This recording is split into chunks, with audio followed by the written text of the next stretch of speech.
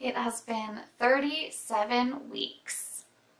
Question to anyone who knows, is 37 weeks near term or full term? So I'm hearing different opinions. This week was definitely very busy for us. It started off with my birthday on Monday. And if you're interested to know what we did for my birthday, go ahead and check out that video. I'll link it down below. Then yesterday we had another doctor's appointment and we finally have our normal doctor back. I said in a past video, our normal doctor actually had a baby herself, so she was on maternity leave for a little bit, but she's finally back.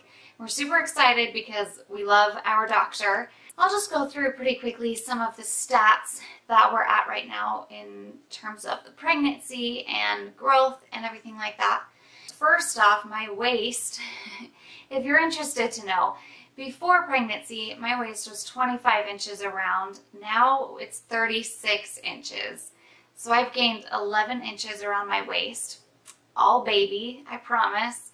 And I weigh about 125 pounds. So again, I've really gained about 20 pounds throughout this entire pregnancy so far. At the doctor's appointment that we had, when they measured my belly, I was measuring at 34 centimeters, which is a lot better than before. It's more in the normal range, I guess, for being at 37 weeks. Measuring 34 is not bad. The baby's BPM was at 130. So again, very healthy, very good sign. He's still moving a ton. I still feel him all the time. at this appointment though, our doctor checked my cervix and found out that I am one centimeter dilated already and I'm 60% effaced, meaning that my cervix is about 60% thinned out. Our doctor seemed pretty impressed with how thin my cervix was already and how low it is. Um, and she could feel the baby's head, so the baby is officially, I'm going to say, permanently head down and has dropped. And I can definitely tell in the way I walk the baby has dropped. Nate thinks that the baby dropped during a hike that we did last week with the siblings. We walked for over an hour. I think that definitely affected the baby. and honestly, at the end of that, Nate looked at me and just said, wow, you are super low and super big now. And today we went out and Nate and I like to do kind of run walks where Nate runs and I walk and then we meet up at the end.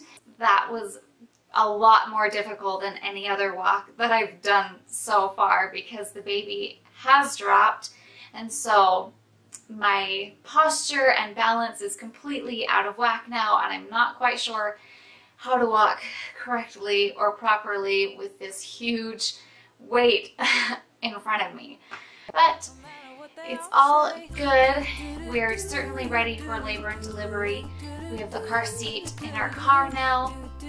And if you guys are following me on social media, you'll see that everything else is set up. Everything back here is set up for the baby, and then our bedroom where the baby is going to sleep for now.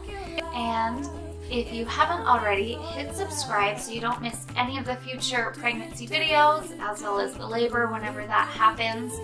Um, and as I promised last week, I will be doing a kind of minimalist uh, video for you guys of how we're organizing all of the baby things back here and as well as in our bedroom with not a lot of space and not a lot of money. And thank you for watching today.